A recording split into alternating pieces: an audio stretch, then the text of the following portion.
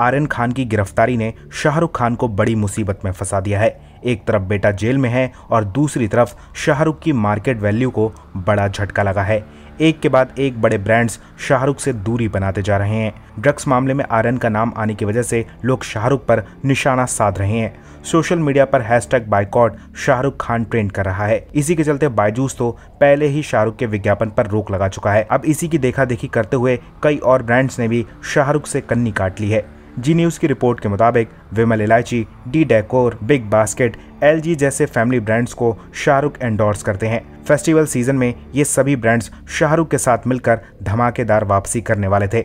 लेकिन आर्यन मामले की वजह से इन सभी की प्लानिंग्स पर संकट के बादल छा गए हैं और इसी की वजह से शाहरुख की ब्रांड वैल्यू भी कमज़ोर होती दिख रही है। शाहरुख की ब्रांड वैल्यू 378 करोड़ रुपए बताई जा रही है और किंग खान इस समय 40 ब्रांड्स को प्रमोट कर रहे हैं। लेकिन आर्यन मामले की वजह से अब सभी ब्रांड्स शाहरुख के साथ आने से बच रहे हैं। कोई भी ब्रांड पब्लिक के खिलाफ जाकर शाहरुख का साथ देने को राज़ी नहीं है। अगर ब्रांड साथ देगा तो नुकसान उन्हीं का होगा। आर्यन की वजह से शाहरुख रोज घाटे में जा रहे हैं। अब ये कब तक चलेगा, कुछ नहीं कहा जा सकता।